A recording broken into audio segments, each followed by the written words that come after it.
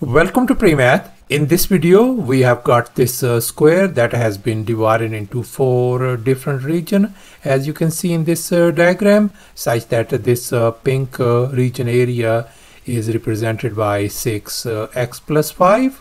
The area of this uh, green region is represented by 12x minus 1. And finally, the area of this yellow region is represented by 6x plus 2 and now our task is to calculate the area of this uh, blue shaded region. And furthermore these uh, side lengths uh, are equal uh, in length as you can see over here.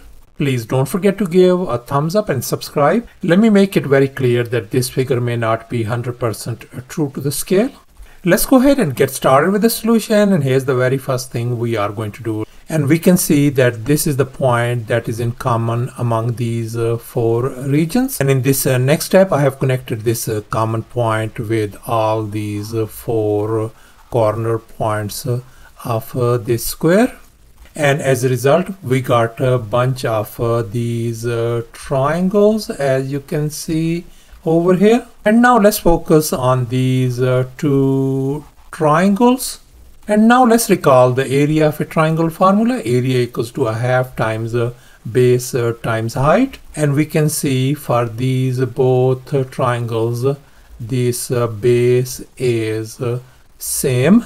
And this is the height as you can see over here. This is same for both of these triangles. So therefore we conclude that the area for this triangle is equal to the area of this triangle. Suppose the area of this uh, blue triangle is uh, A, then the area of this uh, pink triangle is going to be A as well. And now we know that the area for this uh, pink uh, region is 6x uh, plus 5 and the area of this triangle part is A then the area of uh, this uh, triangle is going to be equal to this whole area minus uh, this area A.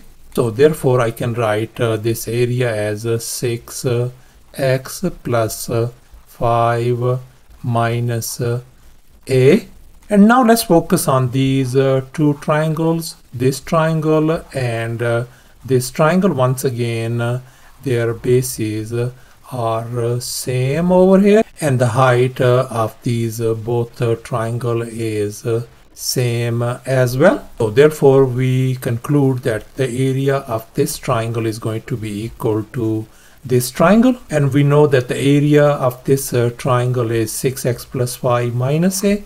So therefore the area of uh, this triangle is going to be 6x plus 5 minus a as well. And now let's focus on this uh, green region its area is represented by 12x uh, minus 1. We know the area of this part of this uh, green region is uh, 6x plus 5 minus a. So therefore the area of this uh, triangle is going to be equal to this whole green area minus uh, this uh, shaded area. So therefore I can write 12x minus, uh, 1 and then minus this 6x uh, plus 5 minus a.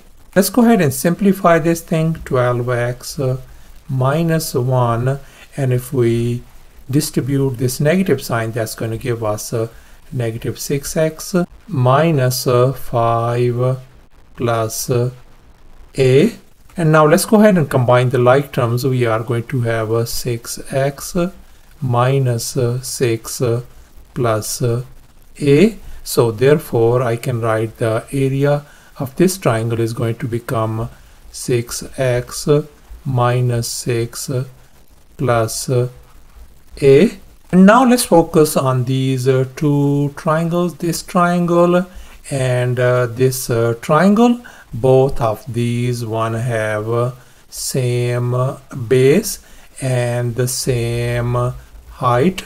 So therefore we conclude that the area of this uh, triangle is going to be equal to this uh, yellow shaded triangle.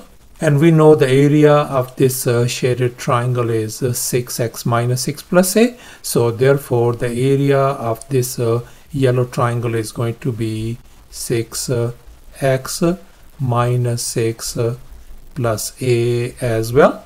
And now let's focus on this uh, yellow shaded region whose area is represented by 6x plus 2 and the area of this uh, shaded region is uh, 6x minus 6 plus a. So therefore the area of this uh, yellow shaded triangle is going to be equal to this whole area minus uh, this uh, shaded area so therefore let me go ahead and write down this whole area is 6x uh, plus 2 take away this area 6x minus 6 plus uh, a. Let's go ahead and simplify.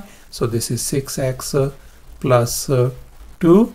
Let me go ahead and distribute uh, this negative sign. That's going to give us negative 6x plus 6 minus a. And now we can see that this x, 6x and this uh, negative 6x is uh, gone. So we are ended up with uh, this uh, 2 plus 6 is going to become 8 minus uh, a. So therefore the area of this uh, yellow shaded triangle turns out to be 8 uh, minus uh, a. And finally let's focus on these two triangles whose base length is equal over here and their height is equal as well. Therefore we conclude the area of this triangle is going to be equal to the area of this triangle.